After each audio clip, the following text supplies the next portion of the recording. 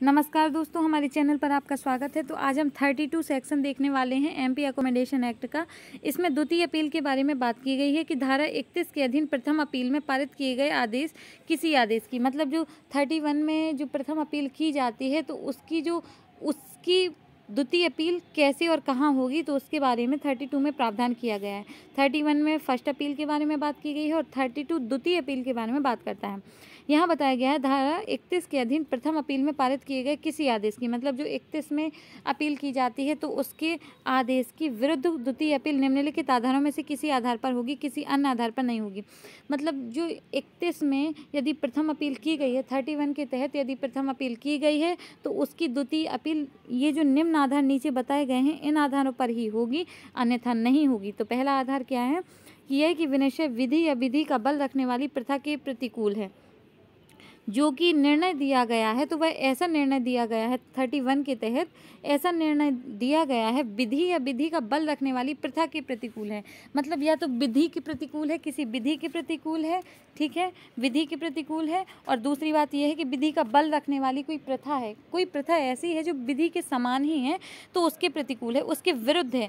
तो द्वितीय अपील होगी और दूसरा ये कहता है, यह कि विनिश्चय में विधि के किसी तात्विक विवादक का अवधारण नहीं हुआ है।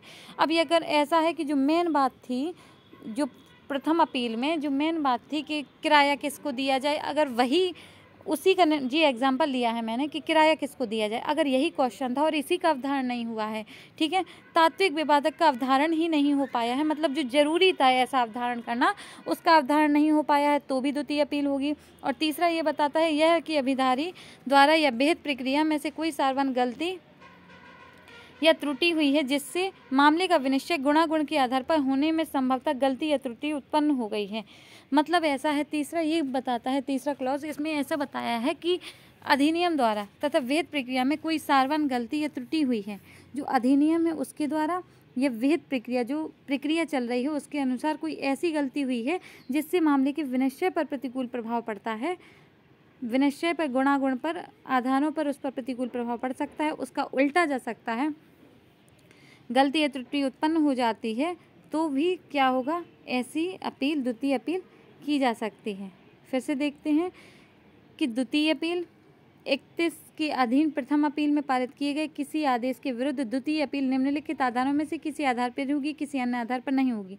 मतलब जो द्वितीय अपील है, नीचे दिए गए आधारों पर ही होगी, जो तीन प्रकार के आधार बताए गए हैं, अन्यथा नहीं होगी। तो पहला आधार बताया गया है, किसी विधि या विधि का बल रखने वाली किसी प्रथा के प्रतिकूल है, विनिश्चय तो द्वितीय अपील होगी। और दूसरी बात ये करता है, यदि विनिश्चय में तात्विक विवादक जो था, उसका अवधारण नहीं हो पाया है। जो मेन बात थी, उसका अवधारण नहीं हुआ है तो भी द्वितीय अपील होगी और तीसरी बात ये करता है, यदि अधिनियम द्वारा या विहित प्रक्रिया में कोई सार्वन गलती या त्रुटि हुई है, कोई ऐसी गलती या त्रुटि हुई है, जिससे मामले का विनिश्चय गुणागुण के आधार पर गलती या त्रुटि उत्पन्न हो गई है।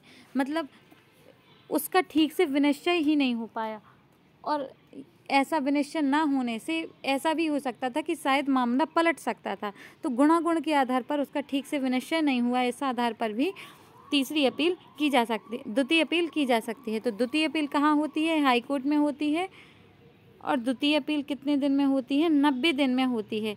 ये लिमिटेशन एक्ट के एंट्री नंबर सिक्सटीन में लिखा है कि जो द्वितीय अपील होती है वो नब्बे दिन के अंतर्गत होती है और विधि के सारवान प्रश्न पर होती है। ये तो हर जगह ही लिखा होता है। तो आई होप आपको समझ में आया होगा। आज के लिए सिर्फ़ इतना ही। बाकी हम बाद में देखते हैं। Thank you bye bye